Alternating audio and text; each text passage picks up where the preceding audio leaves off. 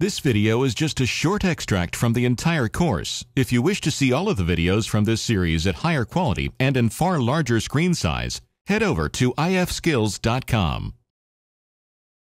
Now that you know how to use a keypoint snap, we can take a look at the remaining snap modes. To do this, it would be helpful to float the snap button bar. Go down to the snap icon, left click, and select the button bar. The button bar displays in the screen.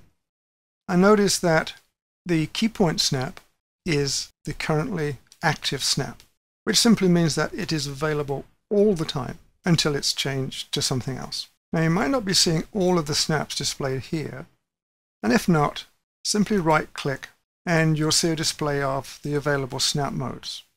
The ones which are ticked are obviously on, so please turn all of them on with the exception of the through point snap and the point on snap. Both of those only work under very specific conditions, and in any case, you can use other methods to achieve the same results. Click on the second icon, which is the near snap point mode, and notice that both the near and the key point snaps are on at the same time. The key point is still the active snap, but the near snap is acting as an override to the key point snap. This applies for one operation only, after which the near snap mode will turn itself off. Start the line tool, click on the near snap mode, and move your cursor to the line. Notice there are an infinite number of snap points on the line. It's simply the nearest the cursor is to any part of the line. Same goes for a circle and any other element that's on your screen. Simply snap to any point on here and drag the line. Very straightforward, very simple. Note that the near snap mode has turned itself off and now the snap mode reverts back to key point. Now when you go to the line you'll find the endpoint, midpoint and endpoint again. I'll undo my line. Next snap mode is midpoint. Again I'm overriding and this time, the only position I can see on the line is the midpoint. No endpoints in this case. On the circle, we're only seeing one point, which is quite interesting. That's the point from which MicroStation drew the circle in the first place. Not immensely helpful. If I move to a shape, again this is a continuous block, these are not individual lines. I'll pick up the midpoint of what would appear to be individual lines, even though they're not. Here's an arc, midpoint only. Here's a line string, midpoint of each segment of the string. And here's a curve, again, midpoint only. Text doesn't apply in this case. Move back to my line, right click to reset. Next mode is the center snap. Again, this is going to pick up the midpoint of a line, but no ends. It will pick up the center of a circle. It will pick up the center of a block if you move your cursor to the outside of the block. It will pick up the center of an arc. And in the case of a line string, it will pick up the geometric center of the line string and the geometric center of a curve. Text again is not significant. Next snap mode is the origin snap. On the line, this is the starting point of the line when I first drew it. So it's the origin point of the line, starting point. Circle, little trickier, it's this side, this time. Again, that was a start point when I dragged the radius of the circle. On a block, it's the first data point that I used to draw the block. On an arc, it's the first arc endpoint, again where I started to draw the arc. On the line string, it's the first point where I started the line string. And on the curve, again, it's the first start point of the curve. Text again is of no interest. Next one is the bisector snap. On the line, of course, it's the center. It's bisecting the line. On the curve, we're back to MicroStation's idea of the start point for the circle. On the shape, we're picking up the bottom right corner, which is halfway round the perimeter of the block from the starting point, which of course was the top left corner. On the arc, it'll be the center point. On the line string, it will be the center of the total length of the line string. What you're seeing here is not the center of that segment. It's the total length of the line string. On a curve, again, it's the center of the total length of the curve. Next one is intersection snap, and I need some more information before I can use that. My line tool is running, so let me just draw a line through here.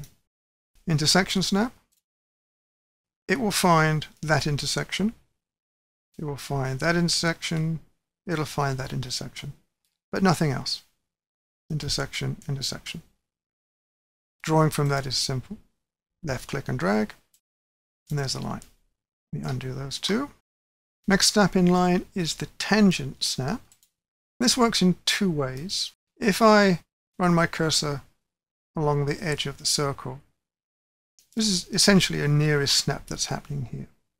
If I left click to accept a point, notice that I can drag my line around the circle and it remains tangent to the circle. It depends which side of the circle you drag the line. Tangent snap again, snap to this side, and now the line is running in the opposite direction. Very straightforward. This can be used to snap to another element. I'd like to snap to a tangent on this arc. I need to activate the snap again, and that finds a tangent on the arc. I'll undo that, Control Z. Try it this way now. Draw a line to the circle, and I'd like the line to be tangent to the circle from that start point. Start the snap, and it finds a tangent point. I'll undo that too. Next snap is the tangent point snap. Now in this case, when I move my cursor to the circle, notice I'm picking up key points. And that's because the key point snap is running in the background. That's affecting how the tangent point snap actually operates. So you could change the active snap to something else if necessary and overwrite again with the tangent point snap. Let's try it and see this time. Let's select the half quadrant, left click and drag. And I have a tangent line from that point. Now it only works in that direction. You can't draw a line to an object and use the snap. Nothing happens at all. It doesn't snap to a tangent at all. Next snap is the perpendicular snap. And this is a very useful tool for drawing lines at right angles to an object. With the tool running, notice that as you run the cursor along, there is essentially a nearest snap happening. If I left click and drag, I'm dragging the line at 90 degrees to that line. Interestingly, I can go beyond the edge of the block. Quite useful undo that, Control Z. Try the perpendicular snap again. This time start from a point outside an object. Set perpendicular snap on. Bring the line down and notice that the line will snap perpendicular to the nearest object. Undo that, Control Z. Next try the perpendicular snap point. Start the snap mode, go down to the block, I notice that I'm snapping to key points here again, and that's because key point is working in the background. If I accept a point, it will draw a line automatically at right angles to that corner. You cannot use this tool to go the opposite way. It won't work if you start a line, you can't select that particular snap mode. Only works in one direction. Control Z. And the last specific snap mode is called the parallel snap. This is quite useful actually. For example, let's take the line here. With the parallel snap running, select that line. It doesn't matter where you select it. Now nothing seems to have happened. As soon as you go and data point elsewhere to start a new line, you'll find that that line is now constrained to be parallel to the first line. That's what the parallel snap does. Quite useful. Now the remaining three snap modes are called multi-snap 1, 2 and 3. And these aren't actually snap modes in themselves, but a collection of snap modes. Go down to the snap icon and click on multi-snaps. And again, we see multi-snap 1, 2, and 3. By default, multi-snap 1 has snap modes of intersection, key point, and nearest, pre-programmed. 2 has a different set, and 3 has a different set. Now you can change these at will. No reason to keep the default values necessarily. Depends what sort of operations you're doing. And these are really very interesting and very useful. Let me show you what I mean. Let's leave them as they are for the moment. Keep in mind that multi-snap 1 has intersection, key point, nearest in the modes. I'm going to draw an extra line on the screen and use multi-snap 1. It's now on. Now watch what happens when I bring my cursor to the line, to this line. I'm seeing an endpoint, which is the key point part of the snap. I'm seeing a continuous selection of near or nearest snaps until I get to the intersection where I now have an intersection snap. And if I come down carefully, it will lock onto the midpoint, which is the key point. Nearest all the way down to the end, that's the key point, and back to an intersection, that's the intersection. Now see how useful this can be, again depending on the operations that you're doing. Now the list of snap modes in the settings box can be changed quite easily in terms of the priority of the snap mode. In this case, intersection has first priority and then with descending priority as you go down the list. But I can click on intersection and move it down the list. I can move key point above. Now key point has the priority if there are two points which are similar and may in fact contradict each other. Please experiment with the multi-snaps. I think you'll find them extremely useful.